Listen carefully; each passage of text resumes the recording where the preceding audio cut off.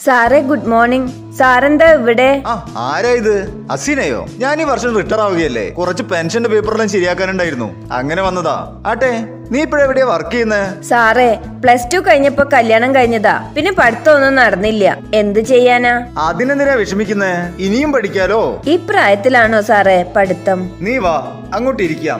ഞാൻ പറഞ്ഞു തരാം കാര്യങ്ങൾ വിശദമായിട്ട് അസീനെ ഇപ്പോൾ മോണ്ടിസറി ടി ടി സിയും പ്രീ പ്രൈമറി ടി ടി സിയും S S L C plus two degree കോഴ്സുകൾ കഴിഞ്ഞ സ്ത്രീകൾക്ക് പ്രായഭേദമല്ലാതെ പഠിക്കാനുള്ള അവസരമുണ്ട്. കോഴ്സ് കഴിഞ്ഞാൽ നല്ല ജോലി സാധ്യതയുണ്ട്. ഇതിനെ കുറിച്ചൊന്നും എനിക്ക് അറിയില്ലായിരുന്നു സാറേ. ഇതിന് നല്ല കോളേജ് ഏതാ? ആ അങ്ങനെ ചോദിക്ക്. അതിനല്ലേ വിന്നേഴ്സ് ടീച്ചേഴ്സ് അക്കാദമി ഇവിടെ മികച്ച അധ്യാപകരുടെ കീഴിൽ സമയനിഷ്ഠയോടെ ക്ലാസുകൾ നടക്കുന്നു. നമുക്ക് നേരിട്ട് ഇവരുടെ ഓഫ്ലൈൻ ക്ലാസുകളിൽ അറ്റൻഡ് ചെയ്യാം. നേരിട്ട് ക്ലാസ് അറ്റൻഡ് ചെയ്യാൻ ബുദ്ധിമുട്ടുള്ളവർക്കോ ലോകത്തിന്റെ ഏത് കോണിൽ നിന്നും ഇവരുടെ ഓൺലൈൻ ക്ലാസ് അറ്റൻഡ് ചെയ്യുകയും ഓൺലൈനായി എക്സാം എഴുതുകയും ചെയ്യാം. ഏറ്റവും അവസരമുള്ള മോണ്ടിസോറി ടി ടി സിയും പ്രീ പ്രൈമറി ടി ടി സിയും ഇതുപോലെ വിന്നേഴ്സ് ടീച്ചേഴ്സ് അക്കാദമി നൽകുമ്പോൾ ജോലിയുടെ കാര്യത്തിൽ നമ്മൾ വിഷമിക്കണോ അസീനെ? താങ്ക് യു സർ ഇനി സ്വന്തമായി ജോലി എന്ന എന്റെ സ്വപ്നം വിന്നേഴ്സ് ടീച്ചേഴ്സ് അക്കാദമിയിലൂടെ